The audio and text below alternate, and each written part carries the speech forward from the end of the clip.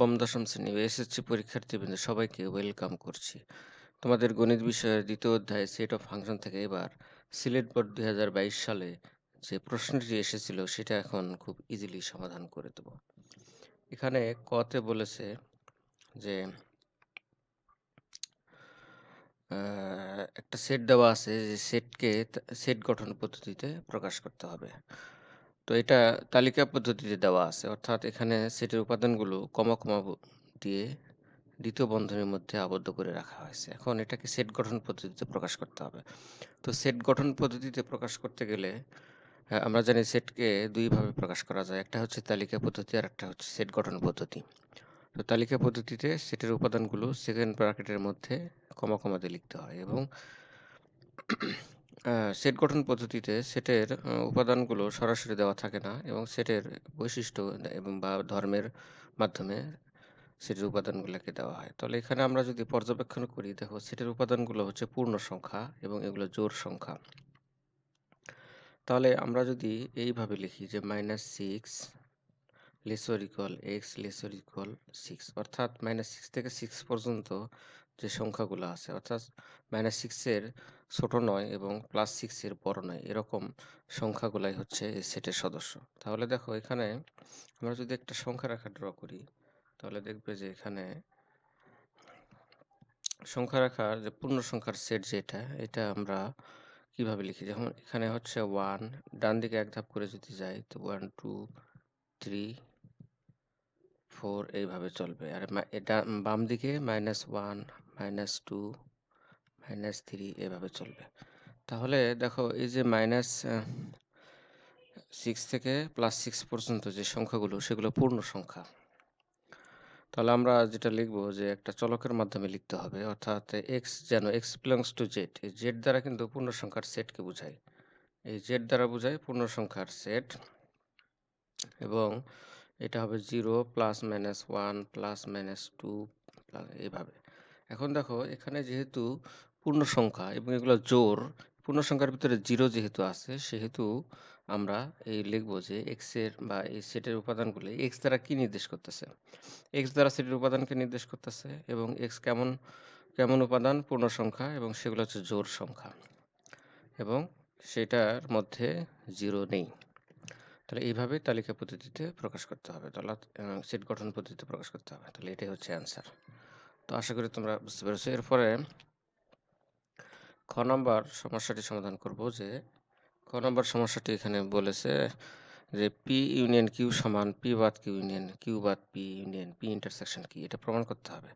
তাহলে প্রথমত লেফট সাইডে যেহেতু শুধু পি ইউনিয়ন কিউ আছে, তো আমরা এটা আগে বের করে ফেলি। অর্থাৎ লেফট সাইডে যেটা দেওয়া আছে, সেটা আমরা আগে বের করে ফেলি। তাহলে এখানে দেওয়া আছে পি সেটের সদস্য পাঁচ ছয় সাত আট এবং কিউ সেটের সদস্য ছয় সাত আট নয়। তাহলে আমাদের লেফট সাইড লিখে যে পি ইউনিয়ন কিউ লিখতে হবে। তাহলে পি সেটের সদস্য লিখে ফেলি ইউনিয়ন কিউ সেটের সদস্য লিখে ফেলি। এই ইউনিয়ন মানে হচ্ছে এই দুটা সেটের ভিতরে সকল উপাদানগুলো নিয়ে যে সেট গঠিত হবে সেটা। অর্থাৎ কমন এবং আনকমন নিয়ে সবগুলা। উপাদান নিয়ে গঠিত সেট অর্থাৎ এটাকে সংযোগ সেট বলা হয়। তো এটা হচ্ছে লেফট সাইড এখন দেখা যাক রাইট সাইডে এরকম বের হয় কিনা। তো রাইট সাইডে বের করার জন্য আমাদের এই খণ্ড খণ্ড করে আগে বের করতে হবে, অর্থাৎ পি বাদ কিউ বের করতে হবে কিউ বাদ পি বের করতে হবে পি ইন্টারসেকশন কিউ বের করতে হবে। তাহলে শুরুতে আমরা পি বাদ কিউ বের করি। তাহলে পি বাদ কিউ অর্থাৎ পি সেটের সদস্য লিখব, বাদ হচ্ছে কিউ সেটের সদস্য। এটাকে আমরা মাইনাসও বলতে পারি। এটা মানে এটাকে সেটের ভাষায় এখানে বাদ বলা হয়, বাদ সেট এটা। তাহলে এখানে দেখো, এই বাদ অর্থ এই সবগুলাই বাদ। এই যে এই সেটের সদস্য কিউ সেটের সদস্য সব বাদ। সব বাদ দিয়ে দিলে তাহলে ছয়, সাত, আট, এখান থেকেও তো বাদ চলে গেছে। তাহলে থাকে কি? থাকে শুধু পাঁচ। হ্যাঁ মানে সেটের সদস্য শুধু পাঁচ থাকবে। তাহলে এরপরে আমরা কিউ বাদ পি নির্ণয় করি। তাহলে কিউ বাদ পি নির্ণয় করতে গেলে আগে আমাদের কিউ সেটের সদস্য লিখতে হবে, তারপরে পি সেটের সদস্য লিখতে হবে। তাহলে এখানে দেখো পাঁচ, ছয়, সাত, আট টোটালি বাদ। তাহলে এই সাথে সাথে দেখো ছয়, সাত, আটও বাদ হয়ে গেছে, থাকে শুধু এখানে নয়।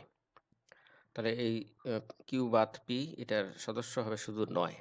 এরপরে পি ইন্টারসেকশন কিউ বের করতে হবে। তাহলে পি ইন্টারসেকশন কিউ পি সেটের সদস্য ইন্টারসেকশন কিউ সেটের সদস্য। এই ইন্টারসেকশন মানে হচ্ছে এই দুটার ভিতরে কমন যেটা আছে, যে উপাদানগুলো কমন অর্থাৎ এখানে ছয়, সাত, আট কমন আছে। তাহলে পি ইন্টারসেকশন কিউ সেটের সদস্য হবে ছয়, সাত, আট।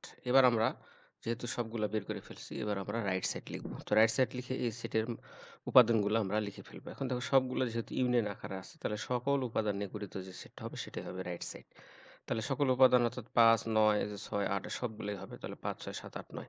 তাহলে দেখো এই যে লেফট সাইড যে সেটটা বেরোচ্ছে যে সেই সেটের সদস্য যেমন এবং রাইট সাইডে যে সেটটা বেরোচ্ছে সেই সেটের সদস্য ঠিক একই রকম। সুতরাং আমরা বলতে পারি left side is to right side প্রমাণিত বা দেখানো হলো, একই কথা। তো এরপর আমরা গ নম্বর সমস্যাটি সমাধান করব। তো গ নম্বর এখানে বলেছে এস কে তালিকা পদ্ধতিতে প্রকাশ করো এবং রেঞ্জ নির্ণয় করো। তাহলে এখানে একটা অন্যয় দেওয়া আছে।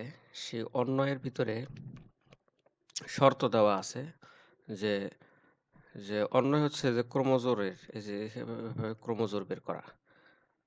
যে যে যে এখানে এক্স বিলংস টু এ এবং ওয়াই বিলংস টু বি তাহলে আমরা সমাধান করব কীভাবে?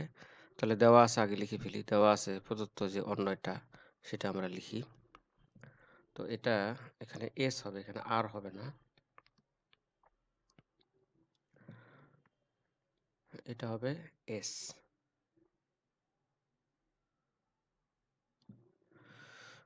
এবং এখানে প্রদত্ত শর্ত থেকে পাই two X minus Y equal to zero বা Y equal to two X অর্থাৎ ওয়াইটাকে ডান পাশে নিয়ে যে আমরা লিখতে পারি Y equal to two X তো এখানে বলা আছে যে এক্সের X belongs to A Y এবং ওয়াই বিলংস টু এ এখন আমাদের ছকে যেতে হবে যে এক্স বিলংস টু এর জন্য ওয়াইয়ের বিভিন্ন মান নির্ণয় করতে হবে।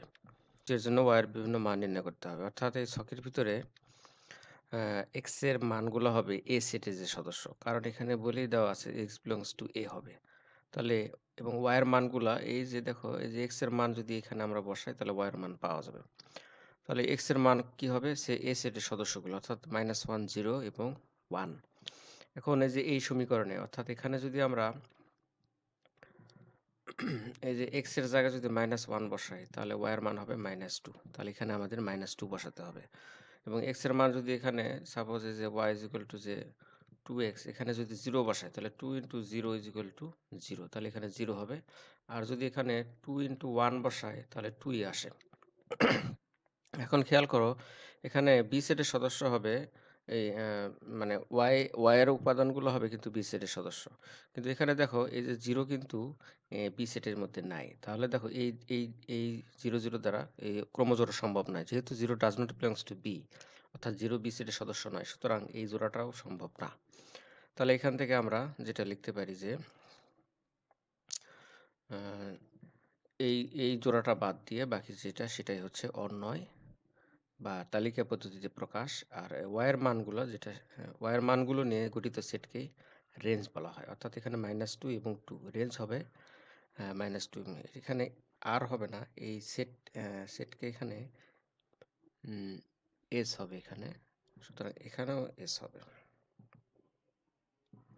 অর্থাৎ এই এটার রেঞ্জ হচ্ছে একটা সেট যেটার সদস্য হচ্ছে মাইনাস টু টু তো এভাবে এই সমস্যাটির সমাধান করা লাগবে। আশা করি তোমরা বুঝতে পেরেছ।